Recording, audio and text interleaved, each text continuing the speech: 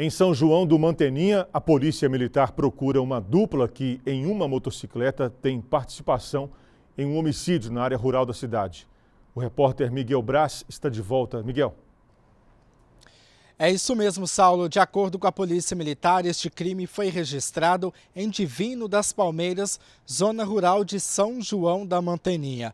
Ainda de acordo com o boletim de ocorrência da Polícia Militar, a vítima, que é um homem de 49 anos, estava trabalhando em um imóvel em construção na companhia do enteado dele, um adolescente de 17 anos. As informações indicam que a dupla se aproximou da construção, o garupa armado desceu e, sem falar nada, atirou contra a vítima. Após o crime, os dois homens fugiram.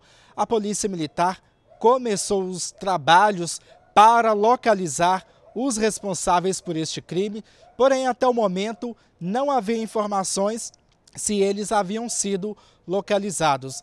A, a motivação do crime também ainda está sendo levantada pela Polícia Militar. O corpo do homem foi encaminhado para o Instituto Médico Legal. E qualquer informação que a população tenha acerca da autoria pode ser repassada para a Polícia Militar pelo telefone 190 ou também pelo Disque Denúncia, que é 181.